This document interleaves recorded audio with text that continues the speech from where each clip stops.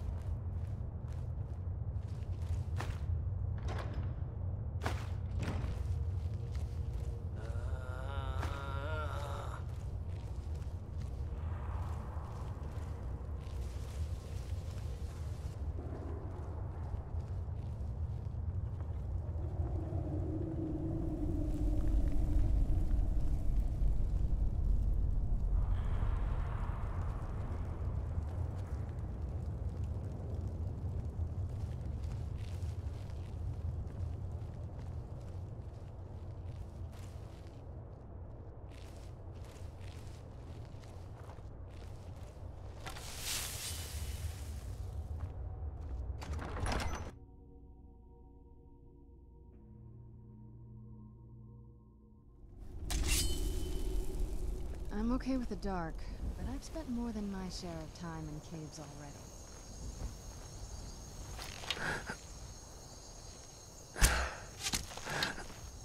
Who's there? I knew I heard something.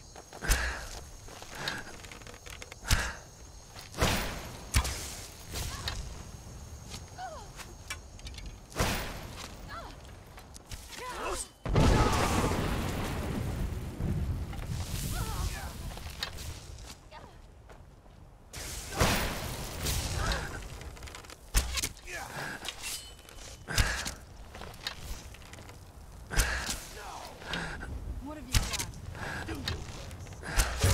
That'll teach you.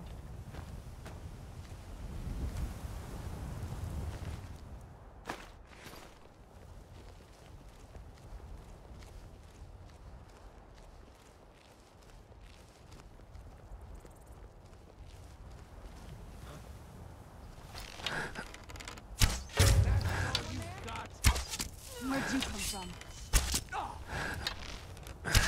Where'd you come from?